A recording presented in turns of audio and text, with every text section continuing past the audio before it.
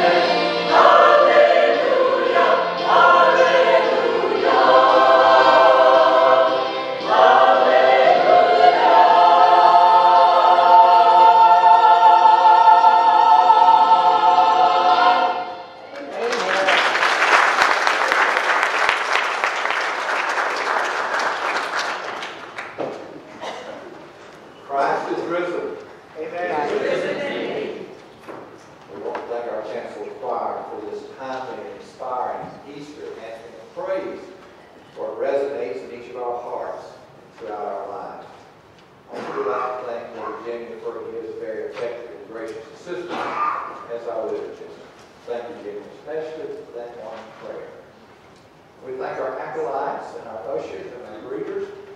Dear friends, we thank each and all of you. You could have been other places this day at this hour. You chose to be here. And our worship and our fellowship are made more complete by the fact that you're here, engaged in worship with us. This is Easter Sunday, and has been my practice now for more than 25 years. On Easter Sunday and on the Sunday before Christmas Day, my sermon is a monologue depicting and portraying one of the biblical characters associated with whatever that message might be. And this morning, in our worship and proclamation, my monologue will feature and portray the father of the repentant thief. One of the two thieves crucified with Christ on Golgotha that Friday morning. That thief which has been pictured traditionally to the right of Christ, the one who his sin and asked the Lord to remember him. The reading of Scripture is taken from Luke's Gospel, chapter 23, verses 39 through 43. As you're able, please stand for the reading of God's Word. Let us now hear the Word of God. One of the criminals who were hanged there kept deriding Jesus and saying, Are you not the Messiah? Save yourself and us. Thief rebuked him, saying, Do you not fear God, since you're under the same sentence of condemnation? And we indeed have been condemned justly. For we're getting what we deserve for our deeds. But this man, Jesus, has done nothing wrong. Then he said, Jesus, remember me when you come into your kingdom. Jesus replied, Truly I tell you, today you will be with me. This is the word of God for the people of God. Thanks be God. Let's bow together prayer. Our Father and our God, in these moments of our worship and proclamation, grant now that the words of my mouth and the collective meditation of all of our hearts will be pleasing and honor to you, O Lord, our rock and our redeemer. Amen. You may be seated. I will never, ever forget that dark and difficult day as long as I live. No father ever could. Even after all these years, I still can't erase all those terrible memories. It's like a continuing nightmare from which there is no escape. I remember it was the day before the, before the Feast of Passover. And as you might well guess, Jerusalem was swarming with thousands and thousands of people. Not only from Judea and Galilee, but from throughout the Roman world. Thousands of Passover pilgrims would come to Jerusalem to celebrate, to engage in the festivities, to pay their annual obligation to the temple. As I well remember, I did not sleep well that night before. You would call it Maundy Thursday. That Thursday night found me trying to sleep. And yet as I closed my eyes, my mind kept saying, this cannot be. This must not be happening. And like you would well imagine, all through that restless night, I tossed and turned frequently. I found myself crying and weeping. My heart was aching like never before. But finally, that Friday morning, daylight came. And the daylight forced me to face the dread reality of what I had been thinking about for several days. Hurriedly, I got up. I dressed. I left home without breakfast. To tell you the truth, there was no way I could eat that morning. I wasn't hungry, but I was fearful and afraid. Early that morning, I walked quickly into Jerusalem, there to the Roman fortress, to the Praetorium. It was there that the authorities were holding my son. and other prisoners who would that day be crucified on a Roman cross. It was my son's last day. Though I had known about this day for several months, the fact that it was there then caused me to tremble as I made my way toward a meeting with my son, hopefully. My mind kept going back, racing back to my son's childhood. He seemed to enjoy life as a boy. He meant everything to me and his mother. As he grew, he enjoyed being with me. Often he would go with me to my work. There he would entertain himself and we would talk at lunch. I was so proud of him. My pride as a parent was focused in that child. And oh, how much he wanted to please me. But then as he grew older, especially in his mid to late teenage years, he became more and more a loner. There was little family involvement. Somehow he got with the wrong crowd. And as such, he did things he should not have done. More than once, he got in trouble with the authorities, and I would go and intervene and try to help him. But instead of being helped, he became more and more involved in the various crimes. I even went and spoke to our rabbi. My rabbi shared with me counsel from the scriptures, and I in turn talked to my son as best I could, trying to help him see the error of his way. But it seemed, dear friends, the more I talked with him, the more I tried to counsel him, the more defiant, the more rebellious he became. It was almost like there was a demon taking hold of his spirit, controlling him, directing him.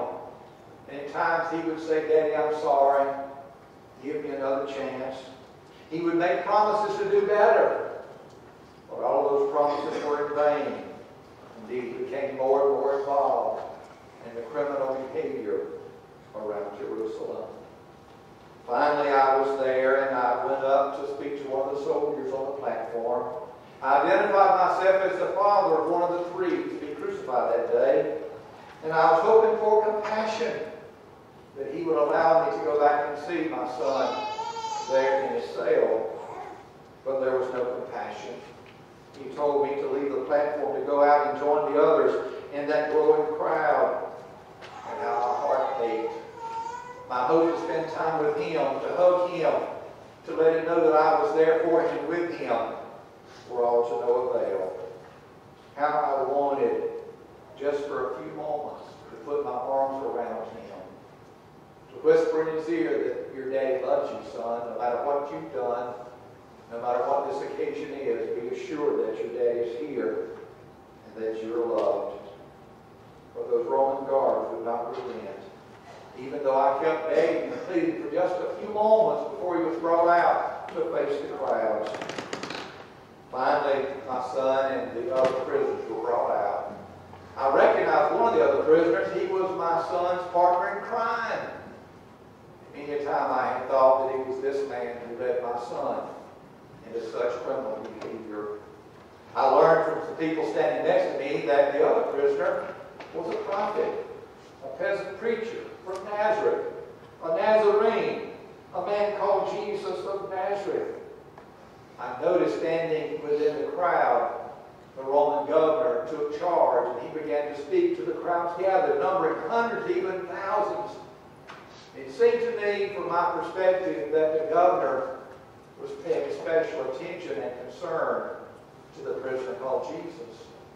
He seemed to want to mediate a compromise to somehow keep from crucifying this man called Jesus. He said to the crowds, I have interviewed this man, I've interrogated him, and I find no crime worthy of death that this man has done. And then Pilate said, I will scourge him. I will flog him. I will punish him. And then I'll release him. But immediately the crowd responded angrily, No! You must crucify this man called Jesus. And Pilate was shocked.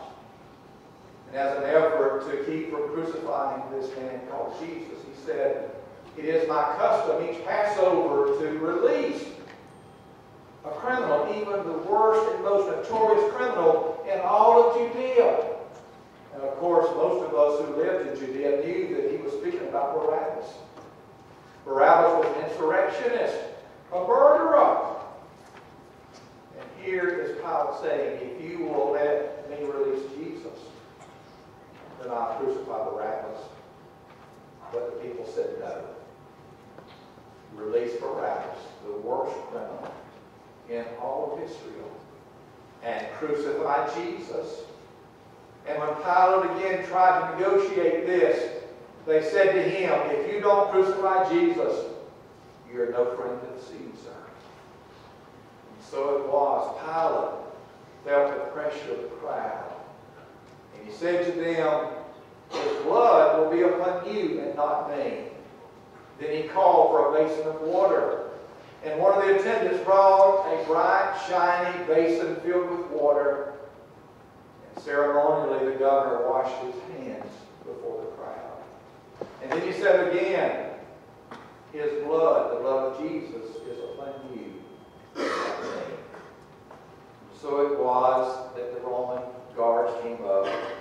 They took charge of these three prisoners to be condemned to death that very day. I can still hear the centurion's command as he ordered this column of soldiers and these three prisoners to begin their trek from the praetorium all the way through the city gates of Jerusalem, beyond the city gates up to a hill called Golgotha. It was there on Golgotha, outside the city walls, that crucifixions were performed. When you would enter or leave Jerusalem, you would see the vertical bar standing there on that hillside. They were left there as a reminder to all of us that we, the Jewish people, were an oppressed people, a subject people, and that the penalty for our misdeeds, our crimes against the empire, was certain crucifixion. In that day, as public humiliation for those condemned to death by crucifixion, the criminal had to bear his own crossbeam. As I said, the vertical bar was left in the ground. But the crossbeam was to be taken by each of these men condemned to death. And I can remember seeing my son with his crossbeam, his partner in crime, but I especially took note of this Jesus when he turned around and his back faced me. I saw how shredded his back and his body were. When the officials had scourged this Jesus, they had used those leather whips with several strands. Embedded in each leather strand were pieces of bone and metal glass. The Roman affliction for such a crime was 39 lashes administered by the Roman guards. And the back of this man called Jesus was so shredded you could see actual bones through. When Jesus began to mount that crossbeam across his back and shoulders, he was so weak, he had been so severely abused, he couldn't sustain the weight. More than once he stumbled and fell, and there was a hush all across the crowd when they saw just how weak and how badly beaten he was. After two or three times of Jesus trying to bear the weight of that crossbeam, the centurion stopped the march. Now the march from the praetorium to Golgotha was 1,000 yards, a little more than half a mile. And so stop there in that narrow street. In your day, it's called the Via Dolorosa, the way of sorrow. Immediately, the centurion spotted a man in the crowd, a black man, a man that I would learn whose name is Simon. He had come from Cyrene in North Africa for the Passover. He was caught up in all this, and it was to him the centurion said, Man, come forward. I want you to bear the weight of this crossbeam for this man about to die. And of course, the man from Cyrene bore that cross, and he assisted Jesus as best he could. Finally, after several minutes, the procession had reached Golgotha. And there, everything that I had feared began to unfold. For so many weeks, even months, what was happening was more conceptual, more theoretical. But now it is concretely happening. In your day, you would say it was surreal. I was so captivated by what was happening I knew it was happening, but I wanted to reject it, to deny it, but there was no way. I remember vividly seeing my son and the other thief Jesus being laid against the ground. They took the crossbeam and placed it under their back, under their shoulders. And while these men were lying on the ground with their arms outstretched on that crossbeam, one of the soldiers took a large iron spike and drove it through the hand into the wood. Then after the nails had pierced their hands and their palms, holding them to the crossbeam, soldiers came to each one, assisting them to stand, escorting them to the vertical beam. And there they attached a rope on a pulley on the top of that vertical beam.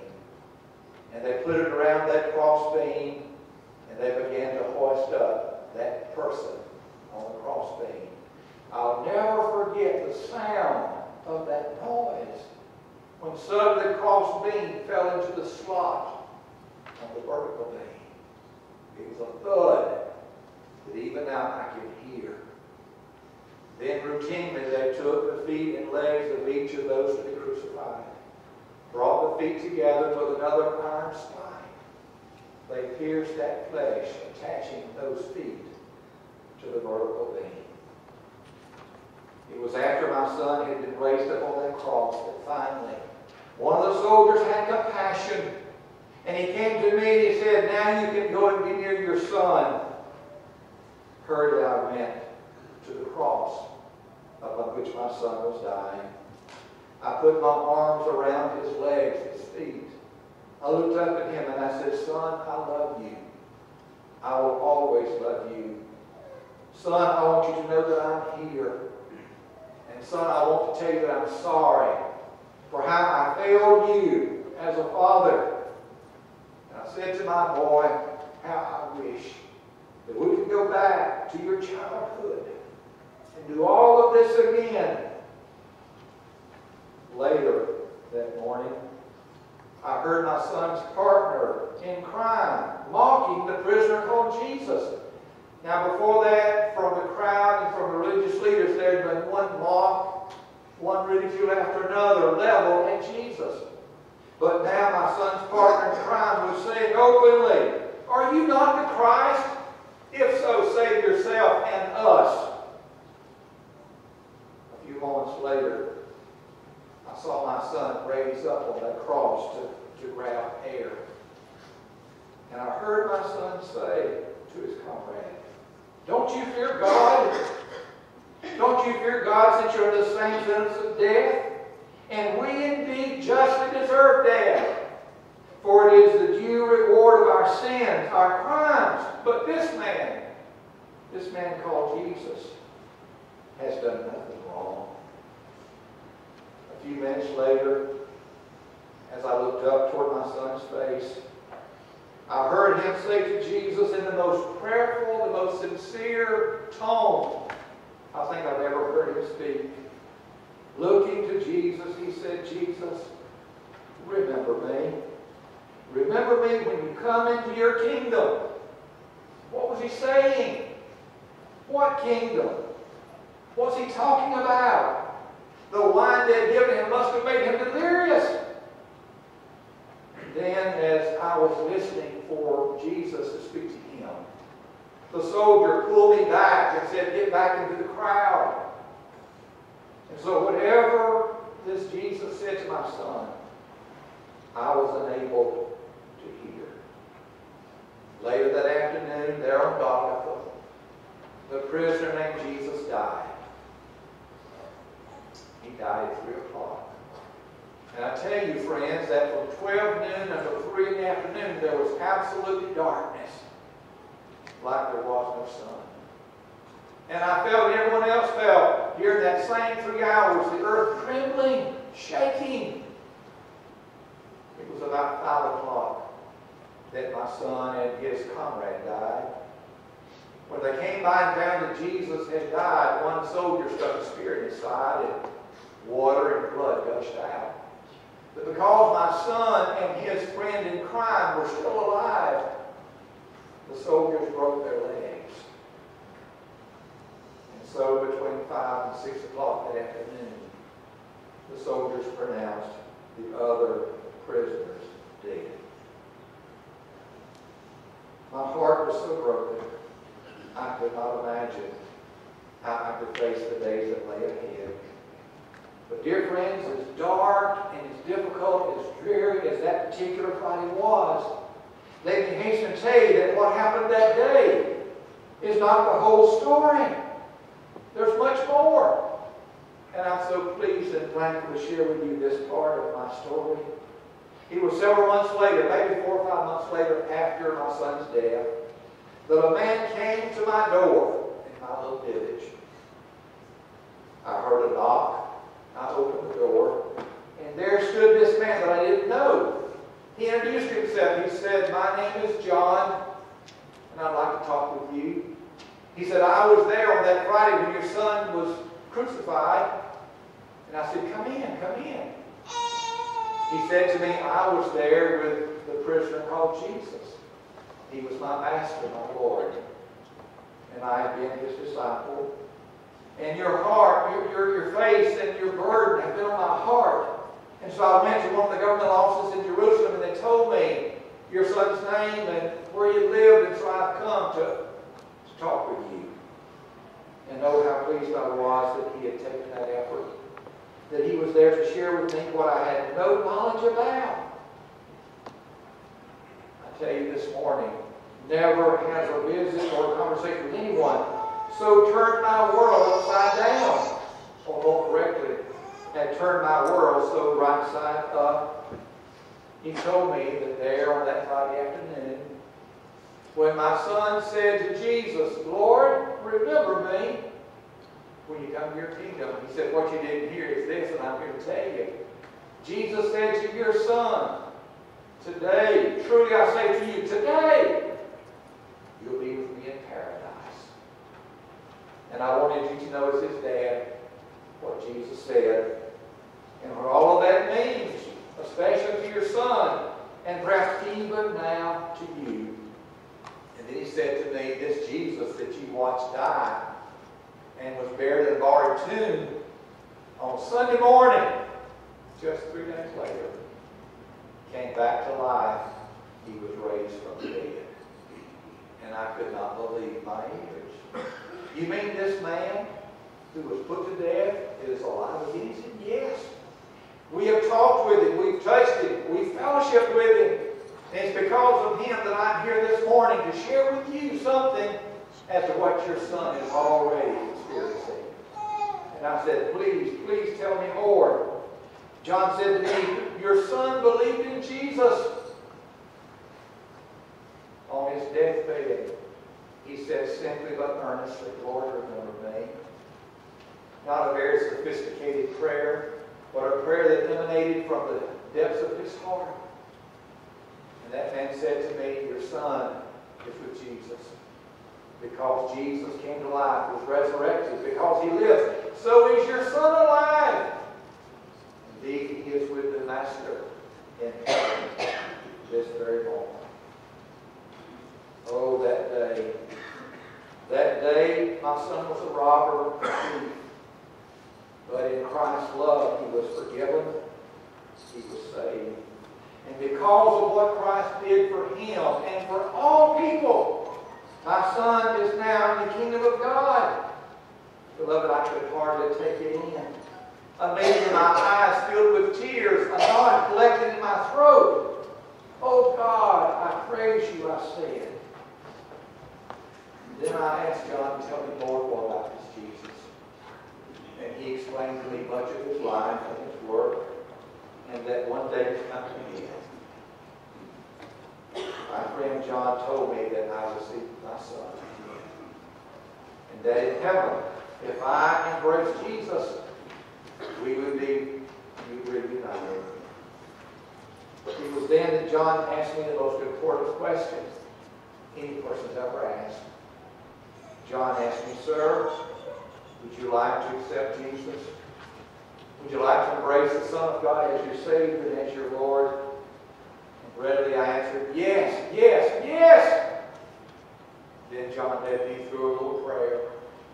in which I acknowledged my sins, my failures, in which I asked Jesus to come into my heart and live to be my master, to enable me to live in such a way that others would be drawn to Him, to Christ. This Easter Sunday morning gathered here with you, we celebrate the greatest of all miracles ever wrought on earth or beyond the earth. Jesus Christ is risen. He is raised from the dead. And dear brother and sister in Christ, in his resurrection, we too are raised. Not just in eternity, but even here now, we're being raised to a newness of life. Every day be a new day, and not merely a rerun of previous days. Jesus now lives in my heart. He was raised from that guard tomb. He is raised and reigning in my heart. Dear friend, if you don't know the Master, He can live in your heart. Historically, the Scriptures and even history says that Jesus was raised from the dead. But it matters little to your soul that Jesus is raised historically if simultaneously He's not also raised in. Is Christ raised in your heart, in your life, in your day to day? Oh, what a miracle we celebrate this Easter Sunday. The benefits of Easter are constant and consistent. We enjoy a quality of life which is abundant and full and everlasting.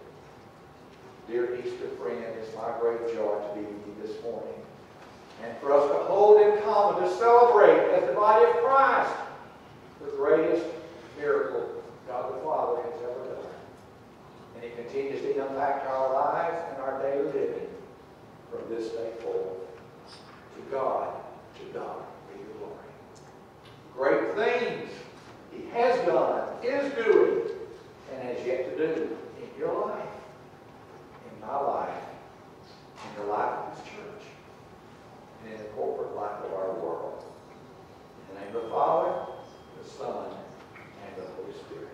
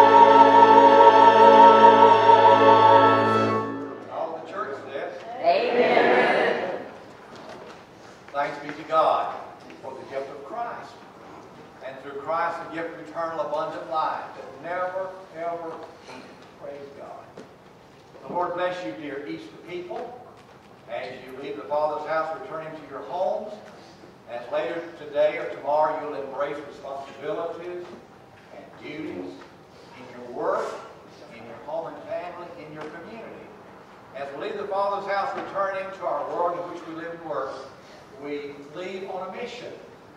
A mission continuous until the Lord comes, or until we take that final step in our pilgrimage to heaven. The Lord enable us this new week to make a positive difference. With our character, our conduct, our conversation, to be sources of life, to be salt, to be avenues of help and hope healing. God equip us with His inviting spirit to be as Christ and helping people find the way to Christ and through Him to eternal life. Let's bow together for our benediction. And now may the grace of our Lord Jesus, the love of God the Father, and the fellowship of the Holy Spirit be with each and all of us this day and every day.